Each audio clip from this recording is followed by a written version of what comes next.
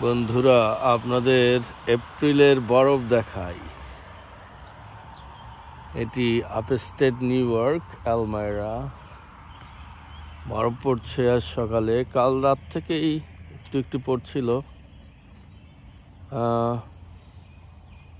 রাস্তায় পড়ে অবশ্য গলে যাচ্ছে।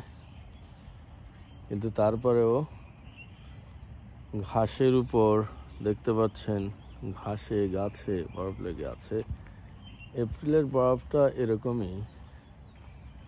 এপ্রিলের প্রায় শেষ দিকে এসে বরফ পড়ার দৃশ্য সত্যিই অন্যরকম।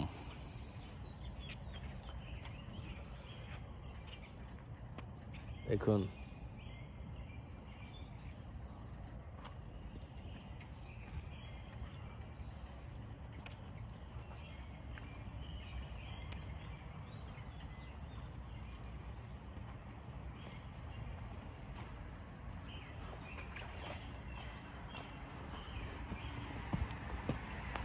ওই পড়ছে উঠে এখন বাইরেরটা আপনাদের দেখাই।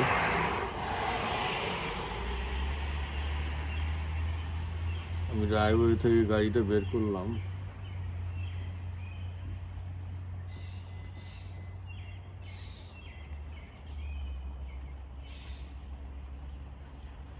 বাড়ির চারপাশ দিয়ে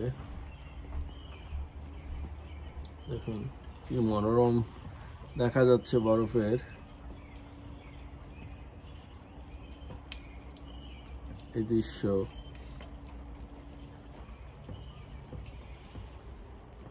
ক্যামেরায় কতটুকু আসছে জানি না সত্য কথা।